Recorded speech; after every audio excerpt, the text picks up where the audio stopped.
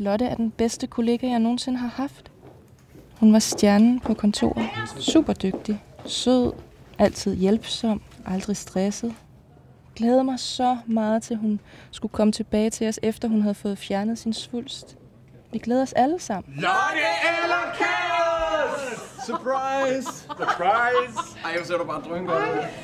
Det er så knaldgodt. Det er dejligt at se Det er så dejligt at have dig tilbage her. Åh, oh, hvor er I søde.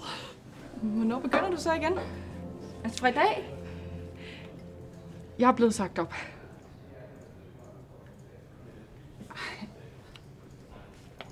Det må I undskylde. Det var ikke meningen, I skulle finde ud af det på den her måde. Jeg, jeg er selv bedt om det. Altså, hvis jeg arbejder mere end en time, så bliver jeg fuldstændig udmattet. Men du ser så frisk ud. Altså, vi kan ikke undvære dig. Og vi har gemt de bedste og de sværeste sager til dig. Måske på et senere tidspunkt. Skulle der stå farvel på den kage der?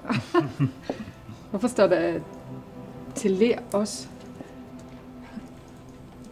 Der står Lotte eller Kaos. Der står til lær os, det kan du da se. Og Hvorfor står der Anne på den der kop? Der skulle der stå Hanne. Der er sgu da ikke nogen her, der hedder Anne. Det er der ikke. Der er ikke nogen her, der hedder Anne. Det var hende, Altså, laver I nummer med mig? og så alligevel ikke. Er det noget, I aftalt? Ja. Hun prøvede faktisk heller ikke på at skjule, at hun var anderledes. Jeg vidste ikke helt mig selv. Lotte.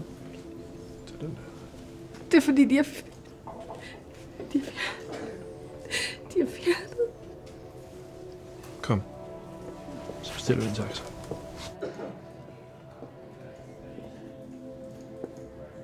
Jeg anede ikke, hvad en hjernetumor kunne gøre ved et menneske.